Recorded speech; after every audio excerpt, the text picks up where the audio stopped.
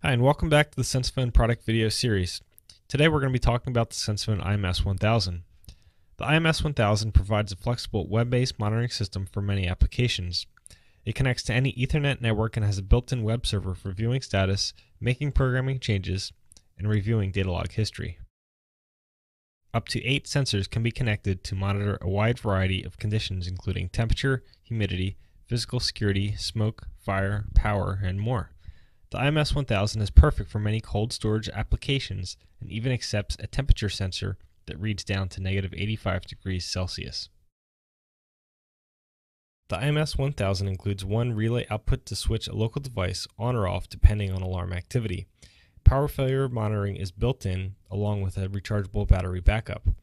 If the IMS 1000 is going to be used in a computer room, additional computer room features are also built in.